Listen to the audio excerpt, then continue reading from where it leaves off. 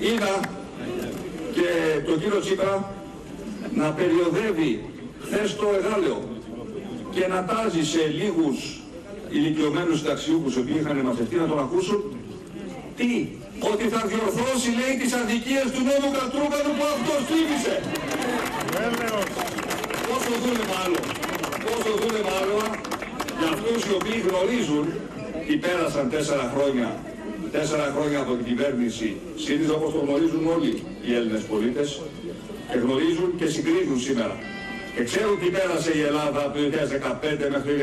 2019 και γνωρίζουν ότι αυτή η παράταξη, η παράταξη της Δημοκρατίας είναι η παράταξη που υλοποίησε τις δεσμεύσεις της να επιστρέψει στη μεσαία τάξη αυτά που σας πήρε ο ΣΥΡΙΖΑ και το κάναμε πράξη. Διότι πρέπει να καταλάβουμε ποιο είναι το ζητούμενο στις εκλογές και ποια είναι τα μεγάλα στοιχήματα